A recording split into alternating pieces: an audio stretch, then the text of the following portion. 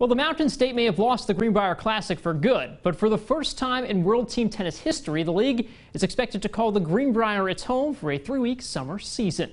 While nothing is official as of yet, according to reports, the season is likely to take place from July 12th to August 1st. World Team Tennis is a mixed-gender professional league that was founded in 1973. This will mark the league's 45th year, and it's never had one city as its host. It's also the first time it'll be in West Virginia. In 2020, the World Team Tennis now has nine franchises throughout the country.